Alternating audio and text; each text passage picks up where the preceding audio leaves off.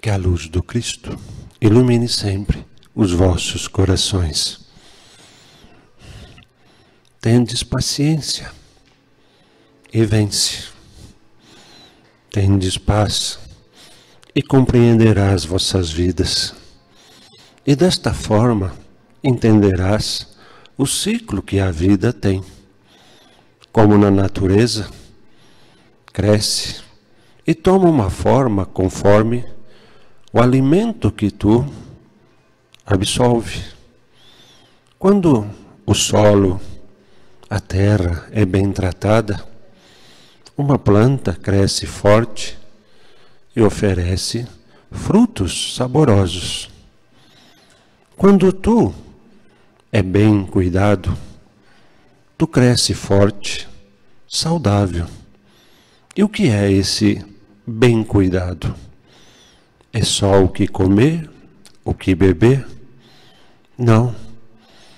É o que tu, no seu dia a dia, vivencia, sente, fazendo com que o corpo tenha essa energia a fazer com que tenha um incentivo, um objetivo, conforme esta vibração, essa energia emantada. Se tu vive um ambiente onde a harmonia, a paz, o corpo vai refletir a isso. Teus órgãos refletirão a isso. Isto facilita e muito para que o corpo compreenda e se fortaleça, sabendo absorver plenamente dos alimentos físicos aquilo que cada órgão necessita para se manter na plena força. Da mesma forma, se o ambiente é tumultuado, com brigas e tudo mais, o corpo vai absorver essa energia, os órgãos da mesma forma. E assim começa a haver um enfraquecimento do corpo. E é dentro disso que tanto é trabalhado. As orientações primórdias a cada um é restabelecer a harmonia e a paz em ti, no ambiente da qual tu vive, com as pessoas da qual tu vive, para que possa haver essa comunhão da saúde, para fazer com que a saúde física, mental, espiritual faça com que tudo esteja na mais perfeita sincronia. E vemos a dificuldade da qual é se colocar em prática esses pequenos pedidos, em fazer uma reabilitação energética junto ao ambiente, fazendo com que assim tu perceba do quanto pequenas atitudes vão lhe tornar mais simples recuperar, fortalecer a plenitude do vosso corpo. Assim, abri vossos corações, tire as mágoas, os rancores, reconcilia-te com os seus, para que essa expurgação desses males, dessas mágoas, proporcione a primeira limpeza da qual é necessária. Limpar a mente, limpar o coração para que tu compreenda, entenda e consiga assim sentir o ambiente que está à sua volta, para que tu possa dessa maneira fazer os ajustes, melhorando a ambiência, melhorando a vibração, tu melhora.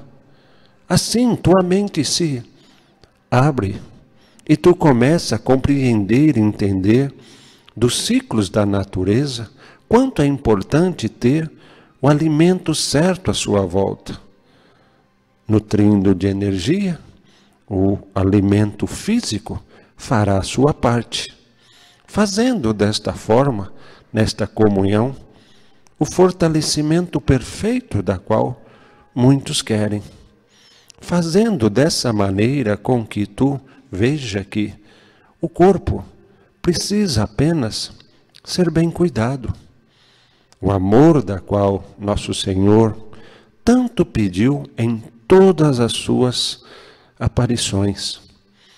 ele curou o cego, ele curou leprosos, curou todos que vinham com o coração aberto, com a mente aberta. Não deixavam com que os preconceitos os paralisassem. Eles iam.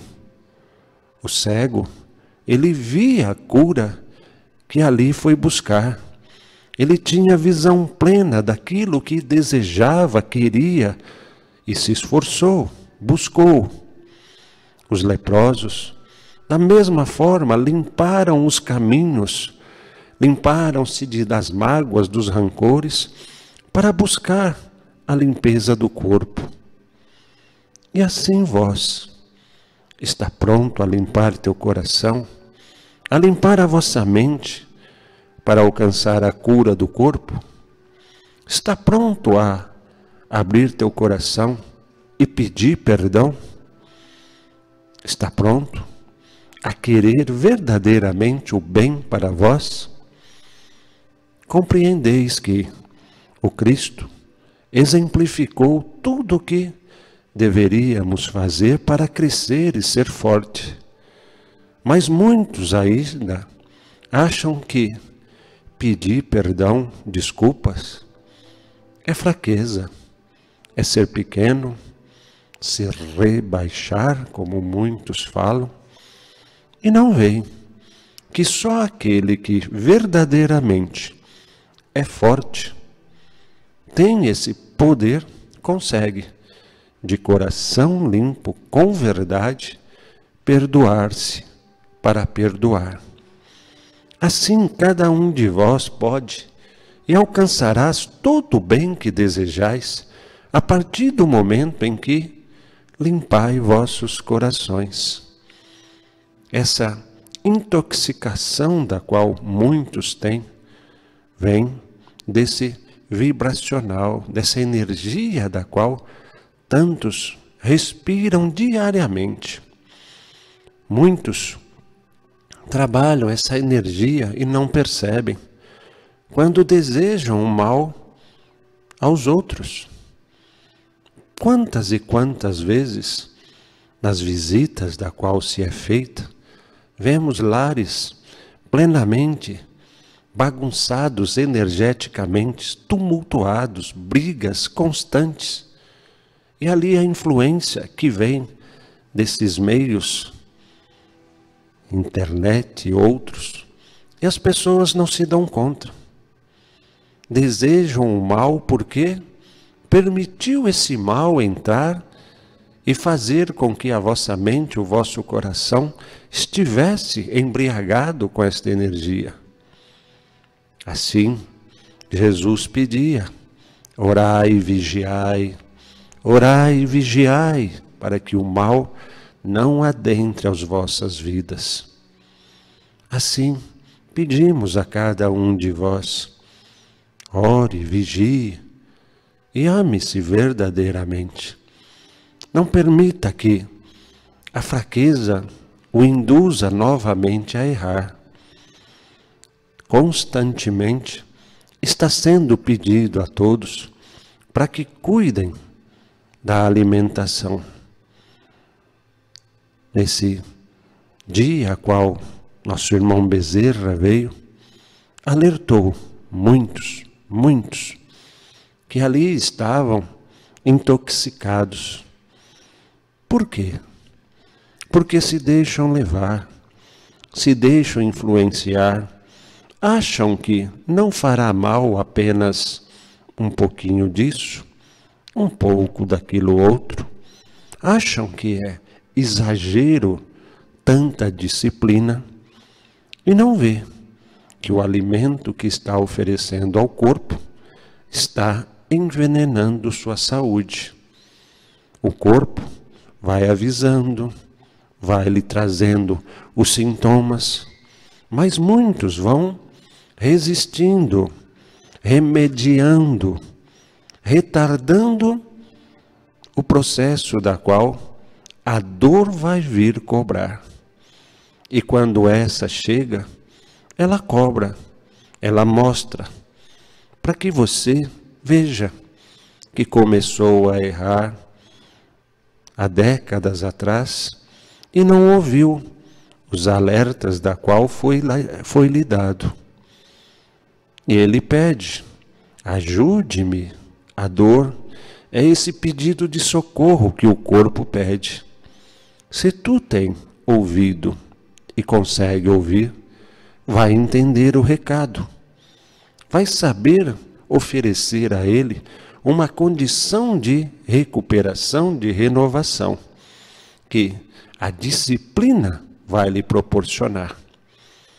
Aqui nós podemos oferecer esse caminho, mostrando a vós o que deveis fazer, como, quando, por quanto tempo. Não tenhas pressa. A pressa já fez com que tu acelerasse esse mal que hoje o trouxe acá. Tendes a paciência, a determinação, a disciplina, e verás que com a devida preparação, com o tempo adequado, tudo volta a ter uma energia adequada que vai gradativamente reparando aquilo que está errado. Tendes paciência, persevera, acredita e tenhais certeza que alcançarás o bens que deseja. Estaremos a ajudar. Cirurgias serão feitas, orientações serão trazidas, bastando a cada um fazer a sua parte. Quando sair, desta casa, lembrais que não encerrou a ajuda, apenas deu-se início. Sua casa, seu trabalho, na sua vida, coloque em prática essas orientações. Leve para a sua vida novamente a saúde, a alegria, a paz que só vós podereis alcançar pelo esforço, pela determinação. Fazei como aquele cego. Abra teus olhos e busque a saúde que desejas. Fazei como os leprosos. Limpe os seus caminhos, limpe teu coração e busque a sua saúde. Busca e encontras, afirma aquele que venceu a tudo, até esse que muitos têm o medo, a morte, que não existe. Abra teu coração, persevera, busque verdadeiramente e tenhas certeza, alcançarás, viverás novamente na plenitude da essência divina da qual tu és. Jesus o Cristo afirmou Vós sois deuses. Quereis algo? Busca, persevera, batei a porta e alcançarás. Determinação traz a recompensa. Para cada um que se esforça, alcança. Jesus afirmou, e ele novamente chama a vós a perseverar no bem, a acreditar em ti para vencer que a luz do Cristo ilumine sempre os vossos corações.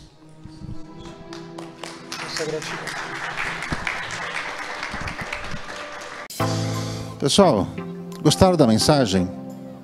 Então clica aí no gostei, no like, compartilhe, se inscreva no nosso canal que você vai receber todo dia uma mensagem nova vindo lá do mundo espiritual para o seu coração. Esse é o nosso canal. Gostou? Gostei. Compartilhou? Compartilhei. Se inscreveu? Eu me inscrevi. Eu recebo. Faz a sua parte.